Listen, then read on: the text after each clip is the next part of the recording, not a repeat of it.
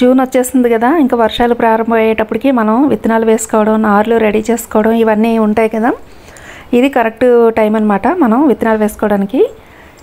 ఏ ఏ విత్తనాలు వేసుకోవాలి అన్నది ఈ వీడియోలో నేను చెప్తాను. అలాగే మన గార్డెన్లో కలెక్ట్ చేస్తున్న చిక్కుడు గింజలండి ఇవి చూడండి ఎన్ని సీడ్స్ వస్తున్నాయో. చాలా హెల్తీగా వస్తున్నాయి. ఇలాగా ఎప్పటికప్పుడు మనం కలెక్ట్ చేసుకున్న విత్తనాలు వేస్తే అండి హండ్రెడ్ పర్సెంట్ మొలకలు వస్తాయి మంచి ఈల్డ్ కూడా వస్తుందన్నమాట. అంటే జర్మినేషన్ ప్రాబ్లం అన్నదే రాదు.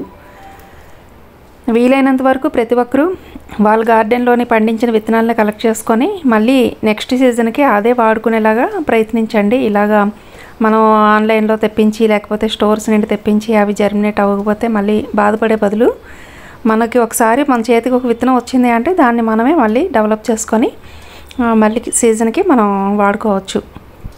ఇక్కడ చూడండి ఎన్ని విత్తనాలు చాలా తాజాగా. అది టెర్రస్ మీదనే. ఇంత తక్కువ ప్లేస్లో మనం ఈ కంటైనర్లో పెంచుకొని అందులో కూడా విత్తనాలు తీసుకోవడం అంటే చాలా గ్రేట్ కదా. మన మిద్దె తోట నుంచే మనకు కావాల్సిన విత్తనాలు మనం కలెక్ట్ చేసుకోవచ్చండి. అన్నీ ఒక్కొక్క కాయ వదులుకుంటే సరిపోతుంది మనకి. బెండకాయ అయినా ఒక్క కాయ ఉంటే చాలు. చాలా మొక్కలు వస్తాయి. అలాగే వంకాయలు కానీ బీరకాయ కానీ టమాటోస్ అయితే అలాంటివి అయితే అసలు విత్తనాలు కొనక్కర్లేదండి. ఎప్పటికప్పుడే ఒక టమాటా పండు తీసేసి మట్టిలో వేస్తే చాలు మొక్కలు వచ్చేస్తాయి. అంత ఈజీగా మనం డెవలప్ చేసుకోవచ్చు. అలాగే ఇక్కడ లాస్ట్ టైము కొన్ని కలెక్ట్ చేసిన విత్తనాలు ఈసారి కలెక్ట్ చేసిన విత్తనాలు. విత్తనాలు అయితే చాలా హెల్తీగా ఉన్నాయి. చాలా ఎక్కువ కూడా వచ్చాయన్నమాట. ఇంకా చెట్లకి చాలా కాయలు ఉన్నాయి రెండు టబ్బులు కదా పూర్తిగా వదిలేసాను రెండు బ్యాగుల్లోని. చూడండి ఎన్ని కేజీలు కాయలు వచ్చాయో మీకు చూస్తేనే తెలుస్తుంది. అలాగే జూన్లో పెట్టుకోవాల్సిన విత్తనాలన్నీ ఇక్కడ నేనైతే కవర్లోనే ఇలాగా gourd varieties tomato varieties brinjal varieties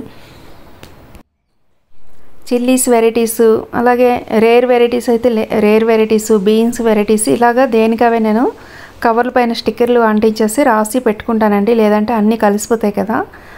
కానీ ఇప్పుడైతే మీకు జూన్లో పెట్టే విత్తనాలు ఏంటో నేను పిక్స్ ద్వారా చూపిస్తున్నాను. చిక్కుళ్ళు అండి బీన్స్ కానీ క్రీపర్ కానీ బుష్ బీన్స్ చిక్కుడు వెరైటీస్ ఏవైనా సరే మనం ఈ జూన్లోనే నాటుకోవచ్చు. చాలా బాగా వస్తాయి. అలాగే టమాటోస్లో కూడా ఎన్ని రకాలు ఉన్నా అన్ని రకాలు కూడా మనం ట్రై చేయవచ్చు హైబ్రిడ్ కాకుండా దేశీ దేశీ వెరైటీస్ అలాగే కొన్ని రేర్ వెరైటీస్ కూడా మనం ఈ సీజన్లో ట్రై చేయవచ్చు చిల్లీస్ కూడా ఎన్ని రకాలు ఉన్నా సరే ఈ రైనీ సీజన్లో మనం చిల్లీస్ని ట్రై చేయొచ్చు. అలాగే కాకరలో కూడా వైట్ కానీ గ్రీన్ కానీ ఏవైనా సరే ఈ జూన్లోనే కాకర విత్తనాలు పెట్టుకోవచ్చు. చాలా హెల్తీగా వస్తాయి ఈ సీజన్లోనే. అలాగే బ్రింజాలు బ్రింజాలు వెరైటీస్ అయితే చాలా ఉన్నాయి. ఎన్ని వెరైటీస్ ఉన్నా మనకు నచ్చిన వెరైటీస్ ఈ సీజన్లో మనం ట్రై చేయొచ్చు. ఈల్డ్ కూడా బాగా వస్తుందన్నమాట. మిగతా సీజన్ల కంటే ఈ రైనీ సీజన్లోనే చెట్లు బాగా పెరుగుతాయి. మంచి ఈల్డ్ కూడా వస్తుంది.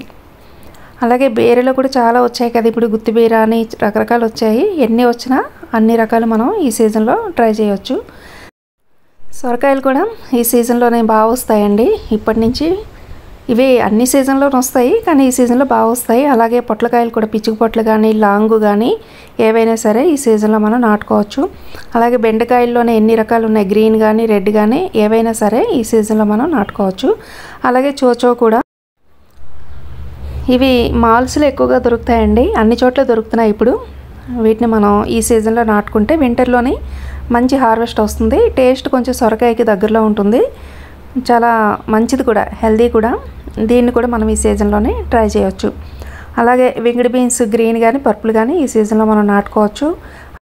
అలాగే ఆగాకర బల్బ్స్ కూడా ఈ సీజన్లో నాటుకుంటే వర్షాలు పడిన వెంటనే మంచి గ్రోత్ ఉంటుంది. ఇవి కూడా ట్రై చేయొచ్చు. అలాగే దొండ సాప్లింగ్స్ కూడా ఇప్పుడు బాగా నాటుకుంటాయి. దొండకాయలు మొక్కలు కూడా మనం ట్రై చేయొచ్చు.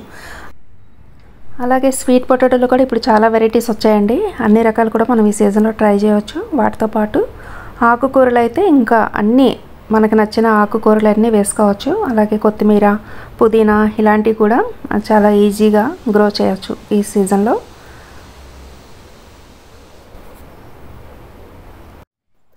ఇంకా వీటితో పాటు గుమ్మడి విత్తనాలు కూడా నాటుకోవచ్చండి. గుమ్మడిలో బూడిద గుమ్మడి కానీ మామూలు గుమ్మడి కానీ ఏదైనా సరే గుమ్మడి విత్తనాలు అలాగే జుక్కిని వాష్కి సంబంధించినవి బటర్నట్ కానీ ఇలా ఎక్సోటిక్ ఇప్పుడు రకరకాల రేర్ వెరైటీస్ వచ్చాయి కదా అవన్నీ మనం ఈ సీజన్లో ట్రై చేయొచ్చు.